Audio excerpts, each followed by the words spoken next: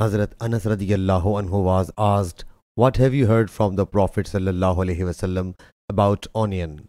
He said, The Prophet sallallahu alaihi wasallam said, Whosoever consumes it must not near our mosque. Sahih Bukhari, Hadith number 5451.